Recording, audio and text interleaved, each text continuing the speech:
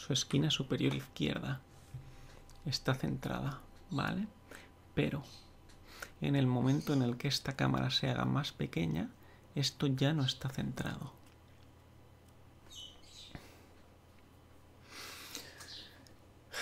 Volvamos a nuestro refugio interior. Gritemos ahí dentro.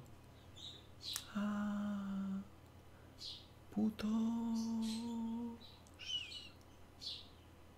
El eco se lleva nuestra ira. Exhalamos. Volvemos al presente. Y ahora.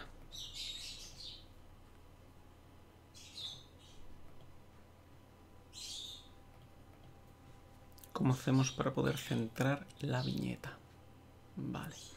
El problema de esto es que cuando cambie de tamaño esto, este, nuestro amigo, nuestro amigo, el Anchor Preset, no sirve para nada porque es estático y no dinámico. Volvemos a nuestro refugio interior y gritamos, hijos de puta, hijos de puta que hicisteis Godot, ¿por qué? ¿Por qué? ¿Por qué sois tan puto inútiles? ¿Por qué sois unos tremendos hijos de la grandísima puta? Dejamos que el eco se lo lleve, se lleve la ira. Damos las gracias a los creadores de Godot por ofrecernos este fantástico programa de forma gratuita, sin ironía. Gracias Juan Linieski por poner estos retos delante mía que me hacen mejor programador y me obligan a entender